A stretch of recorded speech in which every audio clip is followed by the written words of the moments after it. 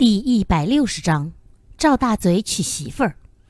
张怀见这小胖子今儿也不晓得为啥跟他耗上了，气恼地瞪了他一眼，心里想怎么推脱才好。他虽不至于自作多情，认为人家女娃子见了他就哭着喊着要嫁他，但经历了玉琴的事儿，那也是心有戚戚，生怕麻烦上身了。赵三不等他开口，就笑骂道：“你们呀，净做白日梦。”人家闺女儿嫁不出去吗？甭在这耽搁了，你俩都去，再晚了新娘子就接不回来了。二人无法，只好一起都去了。接新娘子用的是牛车，上边挂了红布，倒也喜庆。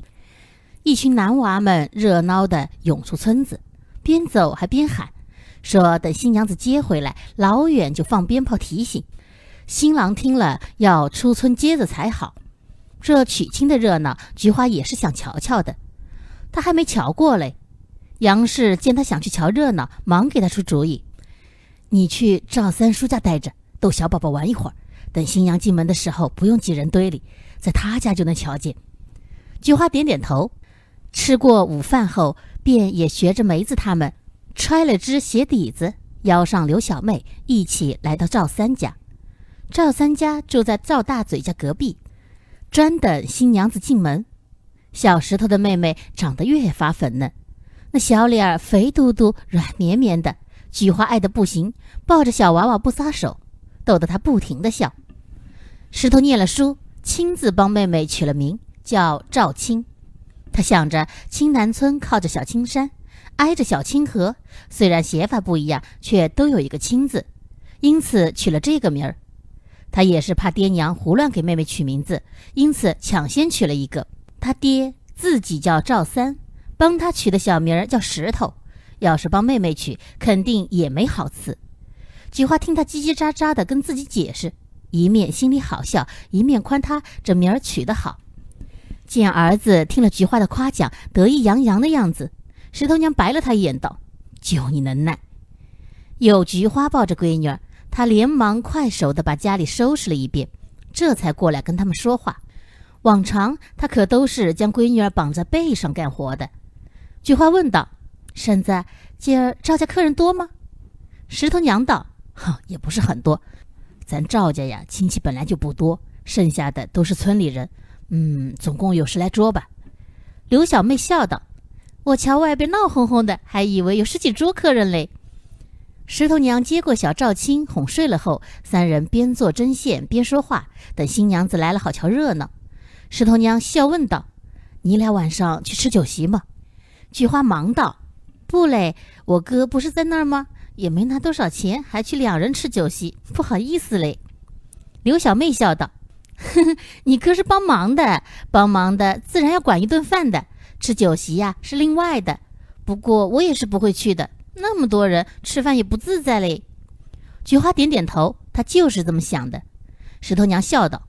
我呀，就猜你俩不会吃酒席，所以我就想晚上你俩就在我家吃，我也不费事烧旁的菜，嗯，就用腌菜煮巷子豆腐，吃个自在，省得去吃酒席呀，还要跟人挤。菊花摇头道：“婶子还是去吃酒席吧，省得煮饭。我们瞧了新娘子就要回去了，我还有那么远的路要走嘞。”刘小妹也说她家住得近，不在这吃，反倒叫菊花上她家去吃饭。菊花失笑道。哼，甭再说了，又不是客，还要你们留个不停。石头，我好像听见炮仗响了，你去瞧瞧，是不是新娘子来了？小石头忙飞奔出去，过了一会儿又飞奔回来，高声叫道：“来了来了，新娘子来了嘞！”三人果然听见鞭炮锣鼓远远的传来，便急忙收了针线，往外边院子里来。到院子里还没站稳，就见李金香、梅子、小燕、小秀、小翠等一群女娃子涌了进来。原来她们也是想瞧热闹的，又不好意思在外边跟人挤，因此来到这旁边的院子里，隔着院墙瞧。好歹这院墙还能遮挡一些，也省得被人说闲话。大家嘻嘻哈哈地选好了位置，站的角度正好能清楚地瞧见赵大嘴家的院子。待一大群人浩浩荡荡地簇拥着那披红挂彩的牛车过来后，这边等着瞧热闹的人也轰得炸开了。一时间，欢笑声和吵闹声不绝入耳。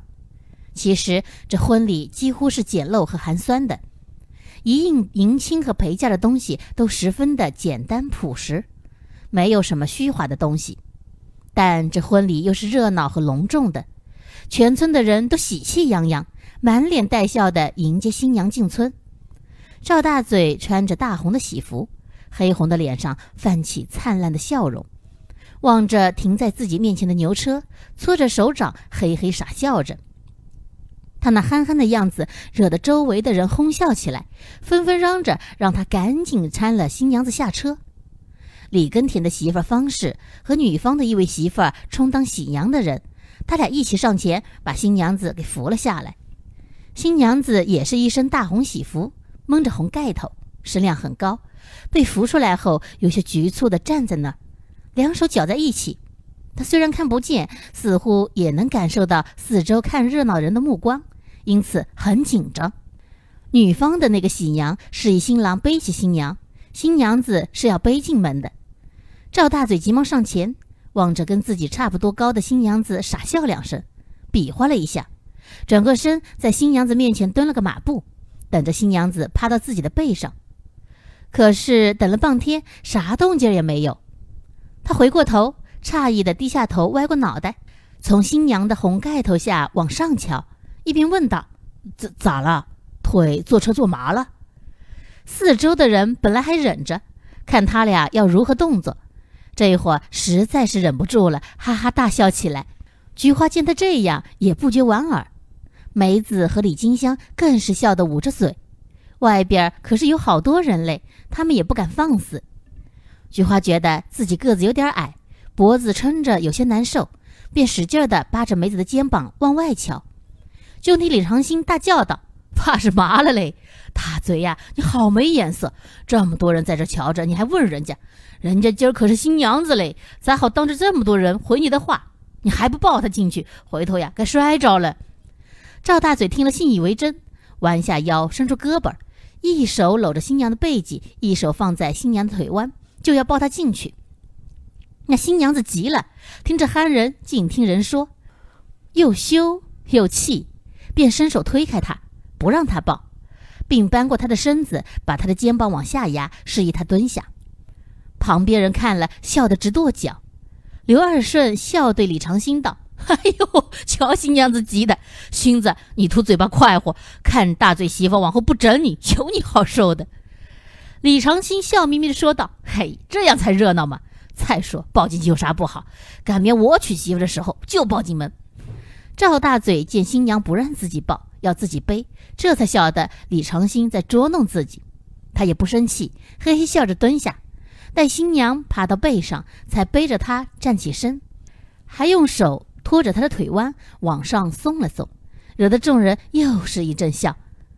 他本来是转身就走的，走了两步，好像又想起啥来，回头对着赵三院子里的一帮女娃喊道：“哎，你们都过来呀，到房里来陪陪桂枝。”他刚来也没个说话的人，你们来陪。后边的话被新娘子给捂住了嘴巴，说不出来了。这一下把里里外外看热闹的人都给乐乐了，一个个笑得东倒西歪。梅子跟菊花也是笑得抱作一团。他觉得赵大嘴实在是逗，在人前也毫不掩饰自己对媳妇的关心和爱护。可是今儿是人家刚进门的第一天。这么多人瞧着，他也不懂得含蓄一点，还没拜堂嘞，就这样起来。这个桂枝还真有眼力，只见一面就相中了他憨实的性子。这个夫婿算是找对了。可是赵大嘴既然这么说了，大伙儿当然要给新娘子面子，过去跟她说说话了。于是，一群女娃就从院墙后面出来，绕到赵大嘴家的院子里。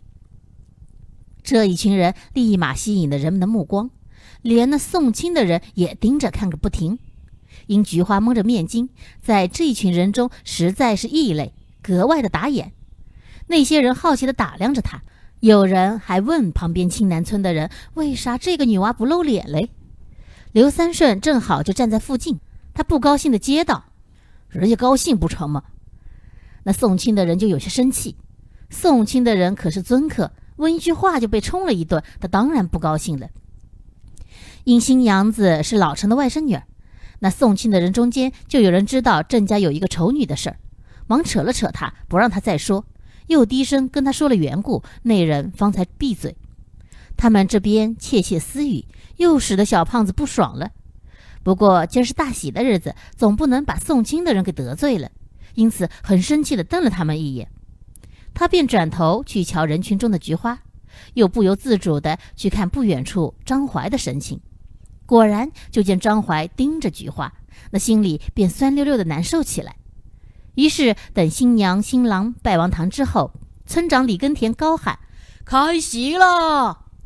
刘三顺便挤过去对张怀道：“你咋还不去帮忙端菜嘞？”他见张怀看着菊花微微含笑，也不知在想啥好事儿，看不过眼，便叫醒了他，叫他想不成。张怀正望着菊花，心想。啥时候自己也背着他进门拜堂嘞？他不由得幻想自己跟菊花拜堂时的情景来。不料小胖子又盯上他了，他气道：“你不也没去？”结果话音一落，就听赵三大声的叫道：“怀子、三顺、长兴，你们都过来，上菜开席了。”两人只好都去厨房端菜。